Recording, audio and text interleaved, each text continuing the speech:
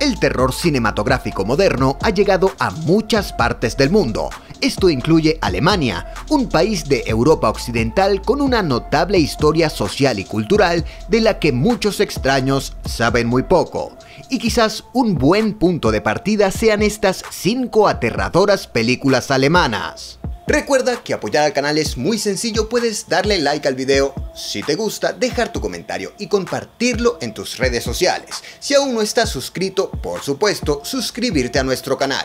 Si quieres dar un paso más y convertirte en patrocinador oficial de la cueva, puedes suscribirte a nuestro Patreon o unirte a nuestro canal en YouTube. Todos estos links los puedes encontrar en la descripción del video. En las redes sociales puedes encontrarnos como arroba la cueva en YouTube, en Twitter e Instagram y en Facebook solo como la cueva. A mí me puedes encontrar en todas las plataformas solo como arroba odiado Pedro. Mi nombre es Pedro Gabriel Peña de la Cueva, pre Párate para los spoilers.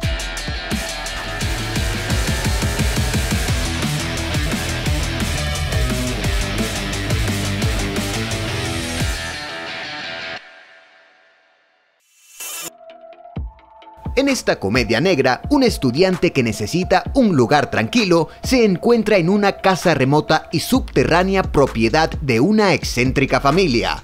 El hombre accede a ser el tutor de su hijo, pero tras una inspección más cercana se entera de que su querido hijo no es un niño pequeño en absoluto. Por extraño que parezca, ese punto de la trama antes mencionado no es lo más extraño que sucede en esta combustión lenta. El búnker toca el terror cósmico mientras ofrece algunos momentos absolutamente incómodos que harán que quieras buscar refugio.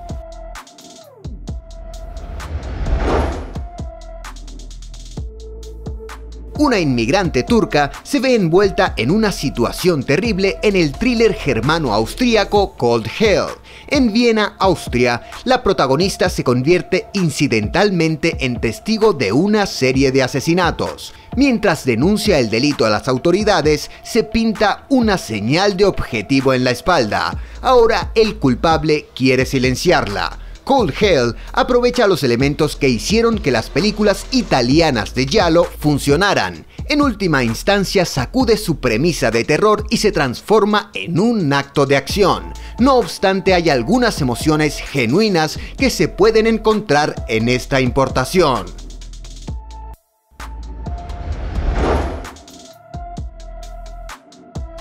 Después de que Paula gana un lugar en una escuela de medicina de élite, se topa con un extraño misterio que tiene sus raíces en la críptica historia de la institución. Cuanto más se entromete en el pasado, más peligro recibe en su vida que alguna vez fue normal.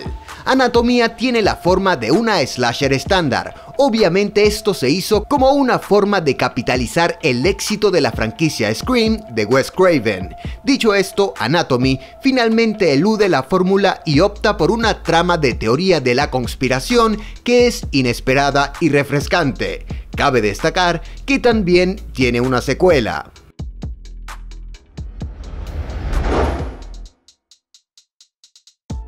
Una pintoresca ciudad portuaria está en el centro de esta película germano-húngara de 1989. En Laurín, una niña de 9 años experimenta sueños inquietantes a principios de siglo. Sus inquietantes visiones parecen tener una conexión con los niños locales que han desaparecido sin dejar rastro en este pueblo. Laurin se filmó originalmente sin sonido antes de que se doblara con diálogo. Esta es la razón por la cual el audio puede parecer fuera de sincronización o simplemente inusual.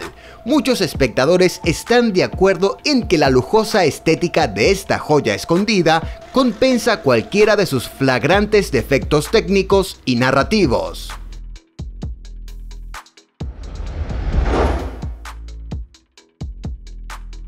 En el estudio del sueño la palabra pesadilla se origina en la palabra inglesa antigua mare que se aplica a una criatura de la mitología alemana. Se dice que una yegua cabalga sobre el pecho de uno mientras duerme, lo que a su vez provoca malos sueños. Hay una famosa pintura de Henry Fuseli basada en esto acertadamente llamada La pesadilla. En la película semi-relacionada del 2015, The Nightmare, el estilo de vida fiestero de una mujer tiene consecuencias sobrenaturales que no se pueden ignorar. Pronto se convierte en el objetivo de lo que parece ser una entidad malévola en sus sueños.